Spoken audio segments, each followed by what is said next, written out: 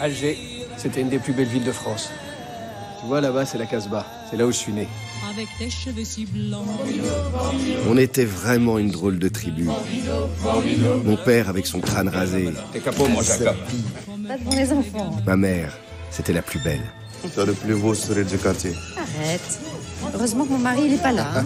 Mes frères, toujours habillés pareil. Et mes copains. Rosoli, c'est le meilleur pour le créponner. On était pauvres, mais on s'en rendait pas compte. Et dans notre immeuble, on vivait tous ensemble. Les enfants, montez faire vos devoirs. Allez. Arrêtez d'écrire, il fait chaud. Madame Agege, vous êtes du Constantinois J'ai eu peur que tu m'oublies. Un dimanche d'été, le cœur battant, j'allais vivre un moment qui allait changer ma vie.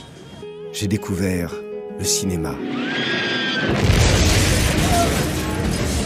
Mais la guerre, elle